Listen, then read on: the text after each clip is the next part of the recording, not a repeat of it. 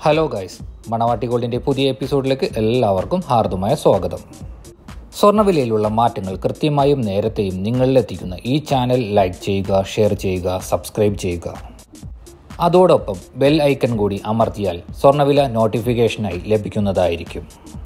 വിപണിയിൽ ഡോളർ വീണ്ടും വർധനവിലേക്ക് ഇന്നലെ രാവിലെ ഏഴ് മണിയോടുകൂടി അന്താരാഷ്ട്ര വിപണിയിൽ ഔൺസിന് ആയിരത്തി തൊള്ളായിരത്തി പതിനേഴ് ഡോളർ ആയിരുന്ന വിപണി ഇന്ന് രാവിലെ ഏഴ് മണിയോടുകൂടി വർദ്ധിച്ച് ഔൺസിന് ആയിരത്തി തൊള്ളായിരത്തി ഇരുപത്തിയേഴ് ഡോളറായി വർദ്ധിച്ചു നേരെ കാര്യം പറഞ്ഞു കഴിഞ്ഞാൽ വിപണിയിൽ ഡോളർ വർദ്ധിക്കുന്നതിനാൽ സ്വർണവില ഇന്ന് കൂടാനാണ് സാധ്യത കൂടുതൽ.